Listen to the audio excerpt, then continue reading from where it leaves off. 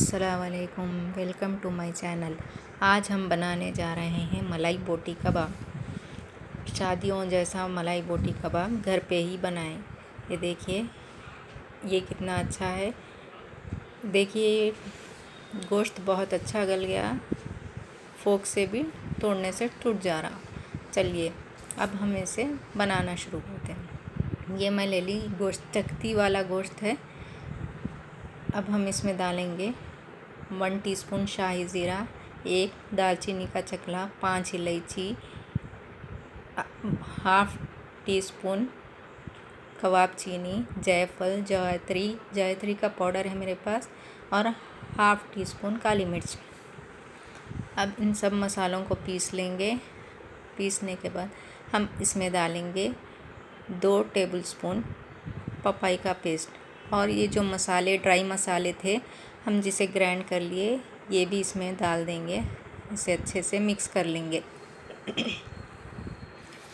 अब हम इसमें डालेंगे टू टीस्पून अदरक लहसुन, वन टीस्पून मिर्ची, वन टीस्पून नमक नमक अपने हसब ज़ायक़ा डाल लीजिए, बाद में चक्के भी नमक डाल सकते one by four teaspoon हल्दी पाउडर। और ये हरी मिर्च, तीन हरी मिर्च कोतमीर और पुदीना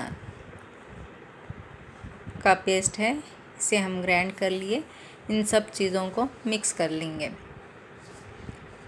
कोतमीर आधा कट्टा लें, पुदीना बीस से पच्चीस पत्ते लेके ग्राइंड कर लिए अब हम इसमें तीन टेबलस्पून मलाई डालेंगे, क्योंकि इसका नाम ही मलाई बोटी कबाब है। इसमें मलाई पड़ती, जो हम घर में निकालते मलाई घी बनाने के लिए, वो मलाई यूज़ कर लेंगे। अब इन सब चीज़ों को अच्छे से मिक्स कर लें। हाथ से अच्छे से मिला लें। देखिए मसाले एक दूसरे में गोश्त के साथ कितना अच्छा मिल रहे हैं। अच्छे से इसे मिला लें।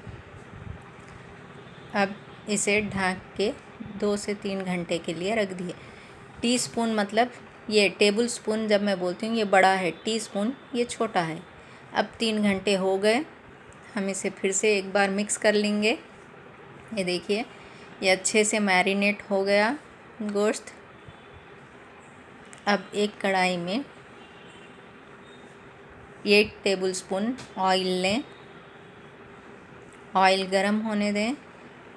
उसके बाद गरम होने के बाद ये जो गोश्त है, मसाले लगा हुआ, वो इसमें डाल देंगे। ये देखिए, ये गोश्त हम डाल दिए। इसे फुल फ्लेम पर ही रखें। देखिए, अच्छे से पकड़ा हम इसमें पपाया लगाए। पपाई, कच्ची पपाई का पेस्ट लगाए। उस वजह से गोश्त अच्छे से गल जाता। देखिए, अच्छे से पक रहा है।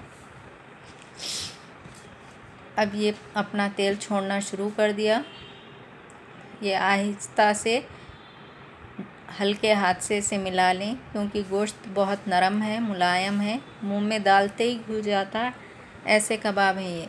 ये देखिए, अब ये बन के तैयार हो गया। मसाला उसको गोश्त को चिपक गया। देख सकते हैं आप। अब हम इसे डिश आउट करेंगे। मेरे चैनल को लाइक शेयर और सब्सक्राइब करें। ये देखिए, ये कितना अच्छा दिख रहा, खुश रंग है। मुँह में डालते ही घुल जाता। एक बार आप लोग ज़रूर ट्राई करें और मुझे कमेंट करके बताएँ।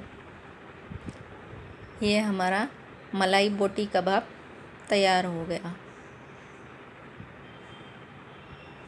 आप देख सकते हैं ये देखिए, कितना अच्छा खुश रंग दिख रहा।